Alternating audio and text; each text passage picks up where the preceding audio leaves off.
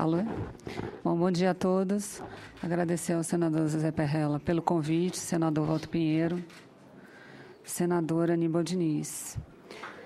É, bom, eu vou fazer uma apresentação bastante simples, que eu acho que a maioria das pessoas que estão aqui já conhecem, né, o que a gente vem falando sobre desligamento de TV analógica. E, enfim, aí estou à disposição depois para tirar qualquer dúvida. Vamos lá. Bom, quando a gente começou o trabalho de desligamento da TV analógica no Ministério, é, a gente verificou que não, o, apesar do sistema ter sido criado em 2006, ele não tinha avançado significativamente. Então, é, o primeiro trabalho que a gente fez foi avançar para poder ter uma implantação da TV digital. Depois a gente começou a trabalhar a questão da convivência TV, a TV digital e banda larga, para garantir a licitação da faixa. E, por fim, eu vou falar rapidamente também sobre as perspectivas para a radiodifusão. Bom, em relação à implantação da TV digital, nosso primeiro trabalho foi cobertura. Né? A gente tinha uma cobertura muito pequena, é, são mais ou menos 11 mil é, TVs e RTVs, ou seja, geradoras e retransmissoras de televisão.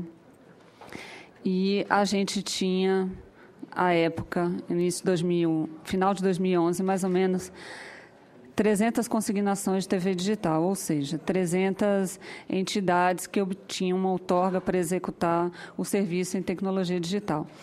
Fizemos um trabalho de desburocratização no Ministério para poder avançar com isso e esse mês nós temos mais ou menos 4 mil consignações já em andamento, né? ou seja, outorgadas. Além disso, é, havia toda uma questão de aprovação dos projetos técnicos das emissoras, que isso demorava um tempo. É, as emissoras têm um prazo legal para enviar o projeto, depois a gente tinha que aprovar, depois tinha que licenciar para eles poderem operar. Então, a gente também fez uma desburocratização disso, soltou uma portaria permitindo que as entidades começassem é, a operar já provisoriamente. Com isso, a gente tem hoje mais ou menos 60% da população coberta com televisão digital. E isso atinge principalmente os grandes centros, obviamente, e as cidades com, com, com mais habitantes, porque o esforço. o esforço de fazer o avanço da TV digital, a, a fazer a cobertura avançar para dentro do país, ou seja, para aquelas cidades pequenas, como a gente viu na visita a outros países, é um esforço maior, porque você tem que instalar mais estações, mas você tem um retorno publicitário menor. Então, esse realmente é um processo que demora. a segunda questão que a gente está trabalhando é a questão do cronograma. Né? Eu vou explicar mais para frente. A Anatel fez um, um, um, trabalho de replanejamento dos canais para a gente ter a quantidade de cidades que a gente precisa desligar para desocupar a faixa de 700 MHz para poder avançar com a ampliação da banda larga móvel. E, por fim, a gente tem a questão da recepção, que ela caminha em paralelo com a questão da transmissão, que é a questão da cobertura. E toda uma série de ações foram feitas lá atrás para que a recepção aumentasse. A mais importante delas é que, a partir de 2011, todos os equipamentos de TV fabricados eh, em, em tela em tela fina, né, como a gente chama, eles têm a obrigatoriedade de ter um receptor digital embutido é, para poder captar o sinal e não haver necessidade das pessoas comprarem um receptor externo para poder ligar. Bom, o replanejamento de canais eu fiz de uma forma didática. Não é para o senador Walter Pinheiro, mas vamos lá. A gente, o que a gente está fazendo junto com a Anatel. Desculpa. É, é, colocando os canais de 2 a 13 e do 52 ao 69 entre os canais 14 ao 51 do UHF. Então, é um trabalho de remanejamento e toda essa faixa de 52 a 69, ela está sendo realocada para poder to caber todo mundo entre o 14 e o 51. Por que, que essa, essa figurinha que está aí ela é tão importante?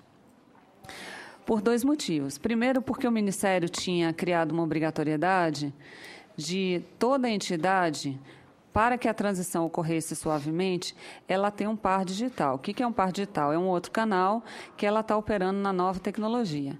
Então, por exemplo, se o Max está aqui do meu lado tem uma emissora em São Paulo, ele teria direito a um outro canal onde ele estaria retransmitindo a mesma programação, só que é, em tecnologia digital, ou seja, com uma qualidade maior para o telespectador.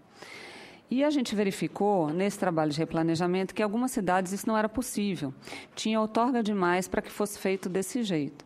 Então, a gente começou o trabalho de limpeza da faixa por essas cidades mais complicadas, especificamente a gente começou por São Paulo, e teve que mudar a legislação para dizer assim: olha, se em São Paulo eu não tenho um par para dar para o Max, então o que, que vai acontecer?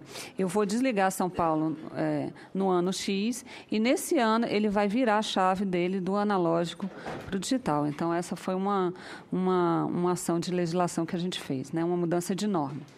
Uma outra coisa importante é assim: é, eu tenho cidades que, vamos pegar Caeté-Açu, por exemplo. Caeté-Açu é um lugar que pouca gente conhece e que tem um espectro limpo, mas, por algum motivo, é, a TVX que tinha lá tinha um par digital dela entre os 52 e 69.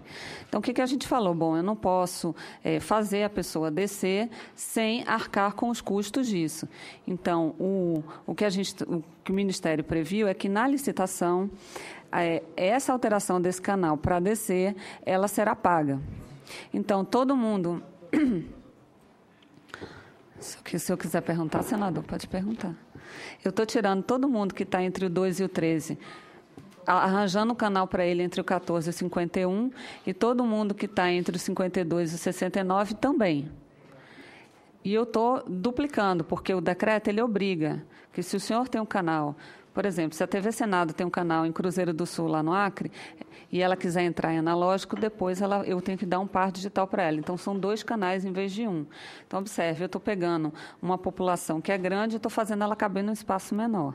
Por isso que a gente teve que flexibilizar a norma.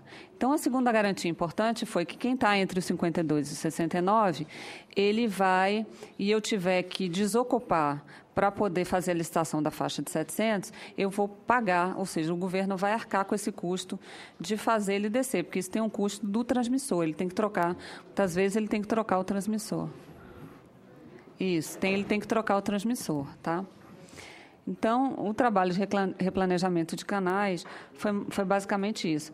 A Anatel concluiu todo o replanejamento necessário para fazer a limpeza da faixa, mas o replanejamento em si, ou seja, a atribuição de um par digital para todas as retransmissoras, a previsão dela é concluir no final de maio. Tá?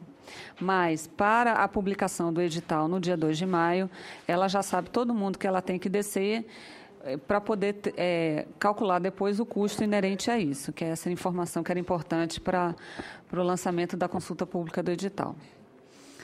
É, e a garantia do, do replanejamento foi: tem que ter a mesma cobertura, ou seja, se eu cubro essa bolinha aqui, no digital eu tenho que cobrir essa mesma bolinha. A gente também fez uma pequena alteração, porque publicamos uma portaria que passa a tratar as regiões metropolitanas e as regiões de, de, de, integradas de desenvolvimento como uma área só. Hoje a gente tem a outorga, ela é feita por município. Então, por exemplo, é, Lauro de Freitas, em, é, Lauro de Freitas é um município perto de Salvador. Quando eu olho para Salvador, eu não olho Salvador, eu olho a região metropolitana de Salvador, por uma questão técnica muito específica.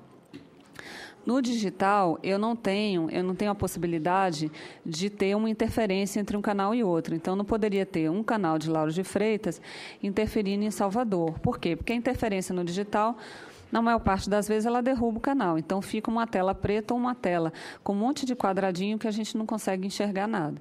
Então, por conta disso, a gente soltou uma portaria também, dizendo, bom, para poder fazer uma, uma, um melhor uso do espectro, quem está em região metropolitana tem direito a cobrir toda a região metropolitana. E com isso a gente consegue uma economia, uma economia de canal, uma economia de espectro. A gente também está garantindo a proteção contra interferência, né? essa é uma premissa com a qual a gente trabalhou, e a harmonização regional e internacional, que é a questão da, da UIT, né, que é a, a, o órgão internacional que cuida de telecomunicações, para que você possa ter uma harmonização entre os países, ou seja, se um país está usando o espectro para uma determinada para um determinado fim, que os outros países olhem isso por região também. Essas três coisas que eu coloquei aí, elas todas estão previstas em portaria, tá? É uma portaria conjunta é, feita com a Anatel e que dá as premissas para que fosse dado o início ao replanejamento de canais. A legislação eu já falei, né, à medida que eu fui explicando o replanejamento, a gente alterou bastante as normas para poder avançar com a implantação da TV digital e garantir a convivência entre TV e banda larga. E essas obrigações que eu falei aí, elas todas estarão previstas. É, é, são as, a, é a política pública do Ministério, é o que a gente solicitou que a Anatel fizesse. As obrigações elas terão que estar obrig, é, obrigatoriamente no edital. Então, de forma resumida, o que, que a gente está demandando? Bom, a gente está remanejando todos os canais que hoje estão em funcionamento acima de 51, públicos e privados, e aqui eu gostaria de fazer um destaque, porque é, existe é, é muito ruído em relação a esse assunto, e é importante esclarecer. Todas as audiências da Anatel, elas foram divulgadas previamente para todas as associações, públicas e privadas, é, que envolvem né, radiodifusores públicos e privados, com direito, com antecedência, para que se programassem. Na maior parte das vezes, a Anatel se deslocou até a cidade, exatamente porque a gente sabe que é, tem radiodifusores com recursos e radiodifusores com poucos recursos. Isso para dizer o quê? Que demos o, digamos assim, foi um processo democrático e transparente. Né? Então, não houve é, favorecimento de emissoras comerciais, muito pelo contrário. E o que a gente está fazendo, o que, o que a gente está fazendo não, o que foi feito no replanejamento foi, na verdade, dizer assim, bom, quem tem uma outorga permanece com essa outorga, só que agora em digital. Então, a gente ouve muito ruído dizer assim: ah, vocês estão, transformando as retransmissoras de baixa potência em geradoras. Eu ouvi essa, esse questionamento outro dia. Isso não existe, tá? Para que fique claro. Quem tem uma geradora na tecnologia analógica, ela permanece como uma geradora na tecnologia digital. Quem tem uma retransmissora na tecnologia analógica, independente de ser em baixa potência ou em alta potência, ou seja, que tem uma cobertura pequena ou uma cobertura grande, ela permanece do mesmo jeito no digital. Tá? Então, na verdade, a gente só está fazendo uma mudança de tecnologia, garantindo as mesmas características, inclusive de cobertura. É, a outra premissa é arcar com o custo do, remanejamento com a garantia da recepção para a população de baixa renda, que isso também está previsto. Utilizar os resultados dos testes de interferência para nortear as medidas a serem adotadas para a mitigação destas interferências. Então, a Anatel está conduzindo testes ah, para exatamente para identificar que interferências são essas. E identificadas essas interferências, prever no edital que essas interferências serão mitigadas e as teles também arcariam com o custo disso. E o compromisso do ministro, que inclusive foi objeto de um ofício para a Anatel, que é a realização da licitação somente depois de concluído o replanejamento de canais e de, e de identificadas e definidas as ações para os problemas de interferência.